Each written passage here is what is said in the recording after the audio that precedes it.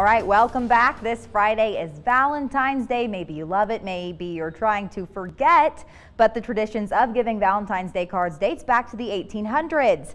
Right now, the original governor's mansion is showcasing some of Montana's Valentines throughout the years. People can see cards that range from the 1860s to the 1940s, all on display in the historic property. As the cards date back further in time, the more handmade elements they have, no matter the age, they all feature the same romantic language we've come to expect with Valentine's Day cards. Many feature puns of some variety. Each card on display has a personal Montana connection and was meant for someone that person loved.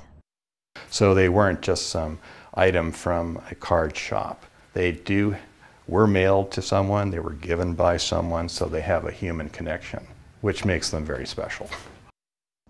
Very cool. The cards will be on display through February at the original governor's mansion. People can see them during their regular tours. And whether you celebrate Valentine's Day or maybe Singles Awareness Day, Curtis has your forecast. it's looking a little cold and a chance of some snow.